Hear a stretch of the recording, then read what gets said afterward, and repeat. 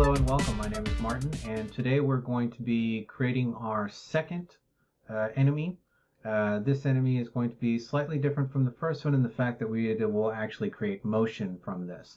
So first thing we want to do is click on our project file, right click on it, say copy, and let's paste that into the same project or the same folder so that way they're sitting next to each other.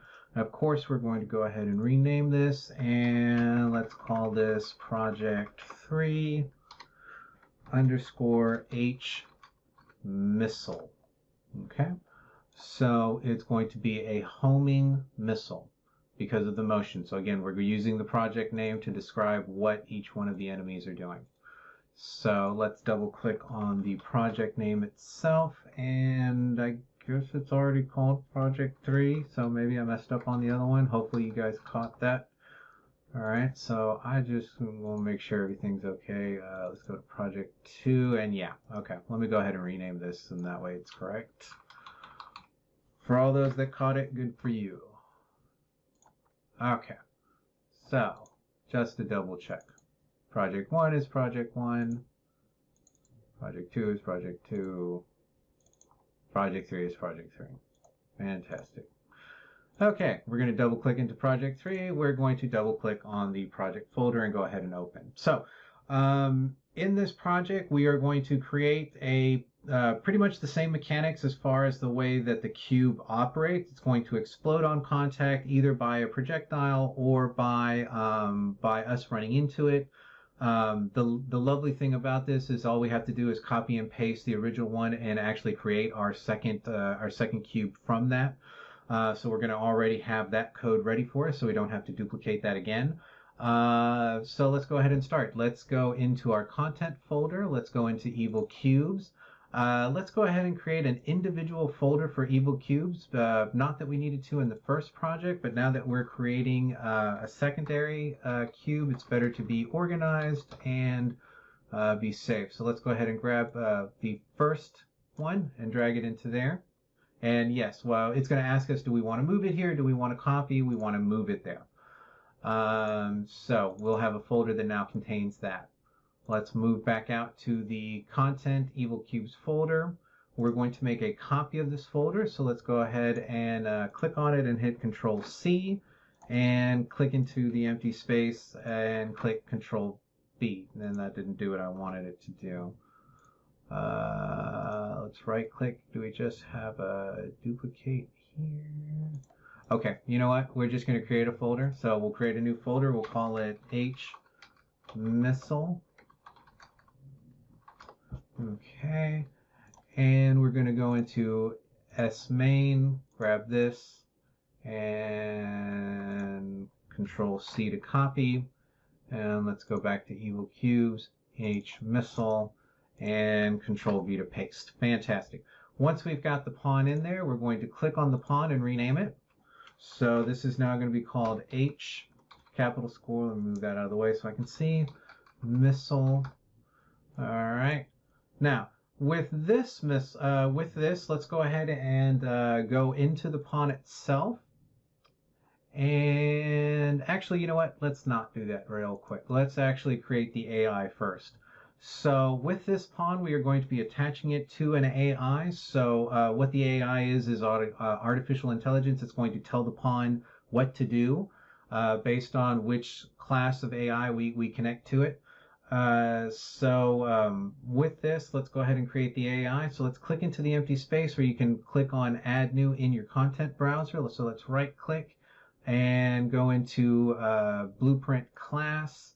And it's not going to be one of the options that we have there. So we're actually going to have to type that in by clicking into All Classes and typing in AI. And we should see one that's called Controller. This is what we want. It's going to look like a little... Uh, uh, honestly, it looks like a little football trophy. So let's click on this and click select. And let's go ahead and call this H missile underscore AI. So then that way we know what it is. And that's what I mean. Okay, so it's a circle on top of a cone. All right, so once we've got the AI there, let's go ahead and double click in the AI.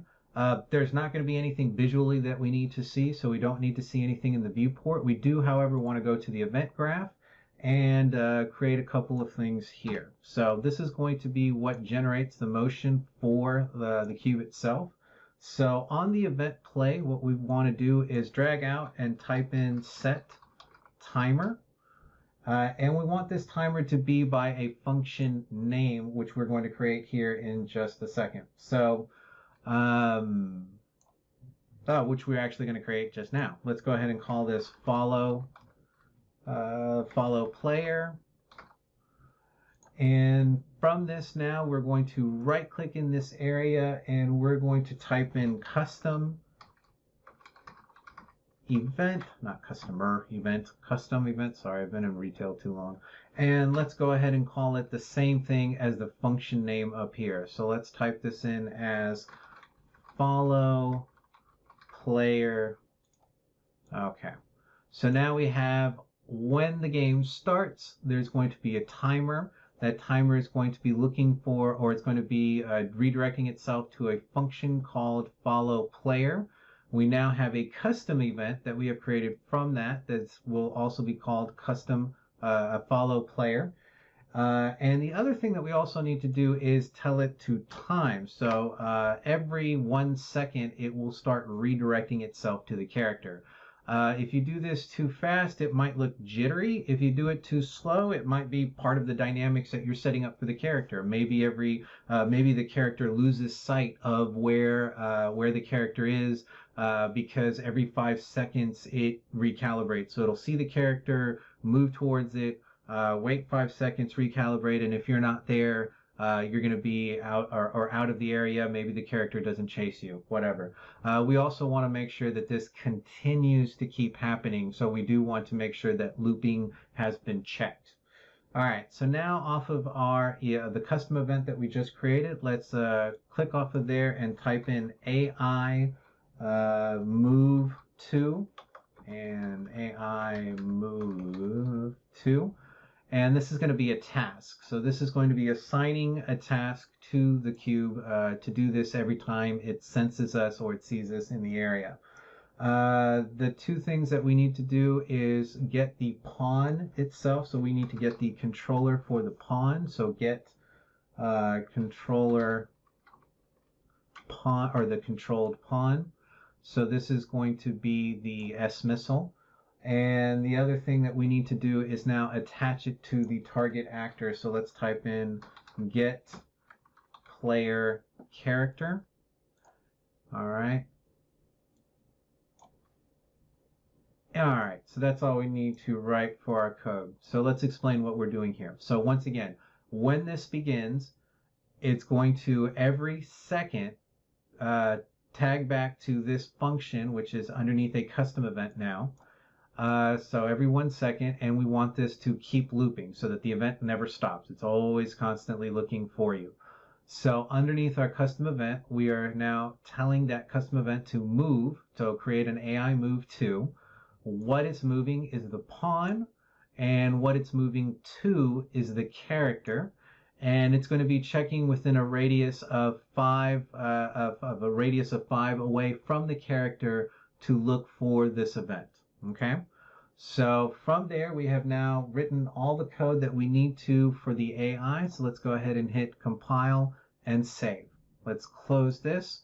And theoretically now what we now have done is created the brain. So we now have the brain and we need to stick that inside of the body. And the body is going to be the cube. So let's double click on the cube and let's make sure that the brain and the body are connected to each other. Now the wonderful thing is that this is opened up in the event graph and all the stuff from the S missile uh, from the from the mine that we created earlier as far as the conditions that happen when the cube is touched are already there. So it's going to turn into a sprite, it's going to explode, the sprite's going to disappear, and the cube is going to be gone. Um, let's go ahead and, I, you know what, let's tidy this up a little bit just since we're here and we have the time anyway, and since we're not too far away from this the, from this previous tutorial, I just want to make this look a little bit nicer. Uh, let's do that. Let's do this. And let's grab that. Sorry, I'm just being nitpicky. Okay, now the other thing we can also do is click across all of this, right click on one of these and say create comment from selection. And if we want to, we can go ahead and say that this is um, cube explosion, right? Because technically that's what's happening. All right, hit compile and save. All right, so with new information now. What we need to do first is we need to go ahead and add the movement itself, what type of movement this character is going to be having. So let's add that in our components panel underneath add components. We're going to want to type in uh, floating. So let's type in floating pawn movement. And so now we have a way that the pawn can move. It's going to float across some surface. All right. Uh, the other thing we need to do is tie the AI into the cube. So if you if you click in the components panel underneath uh, and you click the H missile self, you will get in the details panel information about how the pawn is going to be controlled. We are going to see AI controller class and right now it's tied it's tied into it doesn't it's actually tied into uh, uh, not one that we want let's type uh, let's go into the h missile AI so now it will be doing or, or be looking for the situation that is programmed into the ai uh, from there the next thing that we need to do is go into the cube and what i would like to do with this is give it a different look uh, just so that we know what's the difference between the mine itself and what the uh, homing missile might look like, right? So here, let's give this, uh, I don't know, let's say if I have a sand. Okay, so I do have a rock sandstone material, so I guess this all my enemies are going to be um, silicon based. Uh, so we have that now. Let's double check in the viewer to see that that has now changed. And uh, the only other thing we need to do is change how this thing actually moves. Okay, so um, in the components panel underneath floating pawn movement, if you click on it and go into the details panel, you will now see uh, underneath floating pawn movement the max speed that this thing can travel at. Now, if it's a homing missile, uh, maybe it needs to travel fast, right? We would uh, assume that a missile moves fast, and if it's homing, it's gonna move, I don't know, faster than you can react to it, right? So let's go ahead and click this, and let's make it, I don't know, about 3,000 on the speed. That should make it plenty fast. The acceleration is how fast it goes from zero to top speed. So if you wanted to make it incredibly fast, like it gets right to the player, very, very, uh, it goes from zero to 3000 at this acceleration speed. For now, 4000 is good enough. Uh, the area that we're working in is quite small. Remember that the whole area is 4000. So uh, this thing is going to feel fast anyways. Uh, from there, deceleration, that's how quickly it will lose its velocity, but we don't need to change that and let's not worry about the, that as well. So the one thing that we're changing here is making sure that the max speed is a little bit faster. Okay, let's go ahead and hit compile and save. That should be everything. We'll check and make sure that this is going to work. Now, before we actually start, uh, we have the pawn. We have created the, the information for the AI. We now have the AI connected to the body, right? So we have the brain connected to the body but we haven't defined an area where this pawn can move inside. So in order to do this, we're going to go into volumes. Uh, we're going to go into navigation mesh uh, mesh boundaries, and we're going to click and drag one of these onto the area. Now, what this is going to do is it's going to give the pawn an area to be able to work inside. Uh, so let's go ahead and size this to the scale of the platform that we created in the first project. Uh, and let's expand that out. And let's expand this out. And let's move this back so it's filling up most of the area. And let's make sure that it actually covers the whole area. Okay, that's pretty good. I might just extend that out a little bit more. Put it through the wall and make sure that we're covering that and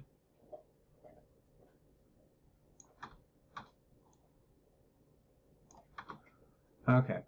The other thing we want to make sure that it is actually not above the area or below the area, the, the, the navigation mesh.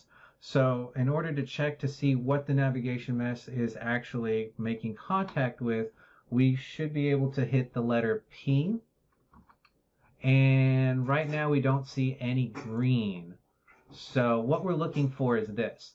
This is telling us what area the pawn itself will be able to move into. Now, um, if it's obviously too low, it's not going to be affecting the platform that we're working on. This is good. Uh, if it's too high, it's also not affecting the area. We can see that it's now affecting these. Now, in later tutorials, we may, uh, I, I, you know what, let's go ahead and make it a little bit bigger. Let's go into the z-axis and actually pull it up. And so then that way it's affecting both the top of the platforms and the bottom. Uh, the way we have it now, if the pawn, uh, the pawn will be able to move to you if you're up here or down there. So if it sees you and you're within its radius, it will be able to see you if you're up on a platform. If uh, we had this to where, let's say this was like this, the pawn now only has the ability to move here and may or may not actually see you up there. Depends on what kind of sensing you have set up for the pawn. All right. So with that, we should be able to test this now. So let's go ahead before we do anything else, save. Uh, save down here in the content browser. And let's hit File, Save All, just to make sure that we haven't missed anything. And I'm, you know what? Uh, let's leave the the S missiles in there just so we have other stuff to shoot at if we get bored. And let's grab the homing missile, and let's pull that. Now the other thing we need to make sure is that it's actually affected in the area that we want to. And in order to know that it is, is we'll see this little kind of like boundary box that's around it. If it's here, obviously it's not contacting a surface, so it won't be able to actually move across a, a, linear surface. So let's put it there and let's grab a secondary one. I don't know, let's put this one here. And let's put one back here for fun. Okay. So let's go ahead and test this level and see that everything is working correctly. So let's hit play. So, whoa. All right, so fun. Uh, what just happened? Uh, the pawns themselves, as they came towards us, they did explode, uh, but they actually pushed me out of the area. They didn't stop where I needed them to stop. Um, so what we're going to have to do is work with the collision boxes and make sure that the pawns themselves uh, close, uh, actually stop where we need them to stop and that they explode where they need to explode and also don't push us off of the area. Okay, so we're going to stop this tutorial here. We'll do, we'll answer those questions in the second tutorial. I don't want to make these things too long and this one is already 18 minutes in length. So uh, second, to, uh, second part of this tutorial will be covering uh, making sure that the pawns actually explode on contact. All right, hope you enjoyed. Have a wonderful day.